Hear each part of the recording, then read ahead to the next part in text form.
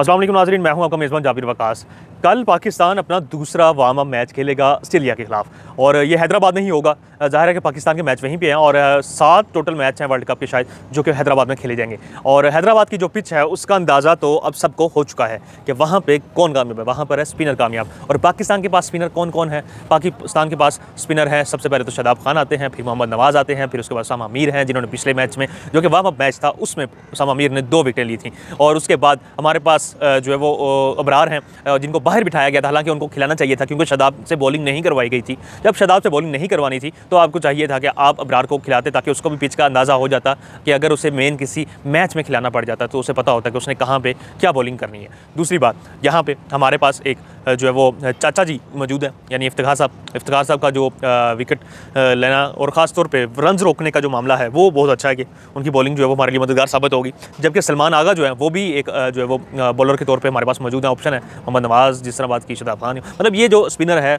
ये हमारे पास मौजूद है स्पिन अटैक में, ठीक है? दूसरी बात, अब इसमें दो स्पिनर जो है वो हम खिला सकते हैं वार्म अप मैच में। एक को तो चले, वो इफ्तार साहब जो है, वो तो मिडल ऑर्डर बैट्समैन है, वो भी उसमें एडजस्ट होते हैं। शदाब खान भी जो बैटिंग के वाले से मिडल ऑर्डर में आते हैं तो वो भी बैटिंग में एडजस्ट होते हैं। तो फिर इसके साथ जो है वो, उन जो खिलाने के लिए बॉलर दस्तियाब होगा तो या सामा मीर होंगे या बरार होंगे तो मेरे ख्याल में सामा मीर को शायद तरजीह दी जाएगी। और इसके साथ दूसरी बात ये कि इस तमाम जो पिचेज़ हैं, इनके ऊपर अभी तक जो है वो 350 टोटल हुआ है किसी भी इंटरनेशनल मैच में। तो इंटरनेशनल मैच में अगर 350 टोटल हुआ है तो फिर इसका मतलब ये है कि अब जो कंडीशन नज़र आ रही है, जिस तरह न्यूजीलैंड ने हमारे 42 या 43 आवर्स में अपना टारगेट चेस कर लिया 345 का तो नज़र यही आता है कि अब आने वाले दिनों में भी यही लगता है कि अगर यहाँ पे 400 भी होगा तो वो भी शायद कम दिखाई देगा। बचेगा वही जिसका स्पिन अटैक काम करेगा, क्योंकि पेस बॉलर जो है, उनको मार पड़ी है। दूसरे वसीम जूनियर के खिलाना और उसके ऊपर रिलाय करना, ये पाकिस्तान टीम की सबसे बहुत बड़ी गलती होगी। उसकी बजाय जमान खान को इन करना पड़ेगा करना पड़ेगा करना पड़ेगा, क्योंकि वो मैंने पहले भी वीडियो को बताया, मैं अभी बता रहा हूँ कि वो जाकर लेंथ बॉल करता है, जिसको खेलना मुश्किल होता है जिस पर बड़ी हिट नहीं लगती, जिसकी वजह से एक बॉलर जो है वो उसकी इकॉनमी जो है वो कंट्रोल रहती है और उससे मदद मिलती है कि रन रोकने में। दूसरी बात, वो ये कि यहाँ पर अभी पाकिस्तान के खासतौर पर सहाफ़ी जो कि वहाँ जा जाएँगे, कुछ सवाल करेंगे। उससे पहले प्रैक्टिस सेशन आज पाकिस्तान टीम ने अच्छा खेला हैदराबाद में।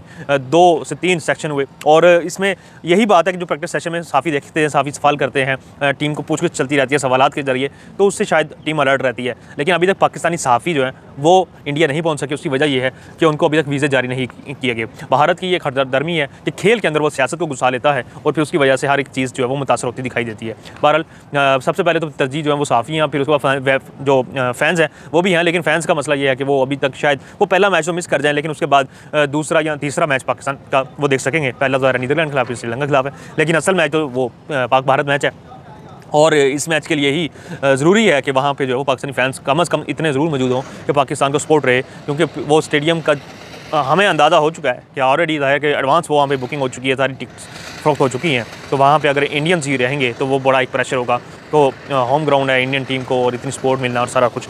दूसरी बात ये है कि यहाँ पर मैं क्लियर करता चलूँ कि इस टीम में जो लोग खेलेंगे, जो वार्म मैच खेलेंगे ऑस्ट्रेलिया के खिलाफ, वही लोग होंगे जो नीदरलैंड के खिलाफ उतरेंगे और शायद ये फाइनल वो होगी। जहाँ चाहेगा कि कोई शख्स बहुत बुरी कारकर्दगी दिखा रहा है या कोई अनफिट होता है तो बाहर होगा, वरना एक फाइनल स्कॉट जो है, उसको लेके चला जाएगा ताकि वो थ्रू आउट परफॉर्मेंस दे अतमाद बिल्ड हो, ये वो ये बाबर आज़म की स्ट्रेटजी है। बहरहाल, अभी भी सबसे बड़ा उनको मशवरा दिया है इंडिया में बैठे हुए एक साफ़ी, जो सबसे बड़े वहाँ के बहुत बड़े जो स्पोर्ट्स वहाँ पे साफ़ी हैं रिपोर्टर हैं, उनमें से एक विक्रांत गुप्ता, उनकी जानब से ये कहा गया कि ये जो पहले दस ओवर्स में हम रिलाई करते हैं पाकिस्तानी टीम यानी रिलाई करती है, अपनी पेस बैटरी पर वो रिलाई करना छोड़े, उसका बी प्लान तैयार करे कि अगर उनको मार पड़ रही है, वो विकेट नहीं ले पा रहे तो सबसे पहले एक तो ये कि वो विकेट नहीं ले पा रहे तो रन तो कम अज़ कम रोकें, अच्छी फील्डिंग की जाए। और दूसरी बात ये कि फिर उसके बाद दफ़ाई हमत अमली तैयार ना की जाए, बल्कि जारहाना अटैक के लिए। कोई अच्छे स्पिनर लगा के कुछ इस तरह की फील्डिंग लेके कि जिसमें लगे कि विकेट लेना चाह रहे हैं, इसलिए जो है ना वो फील्डिंग ऐसी सेट की गई है या इस तरह का मामला है तो जिसमें जारहाना पॉलिसी नज़र आए और बैट्समैन जो है वो बैक एंड पे जाए।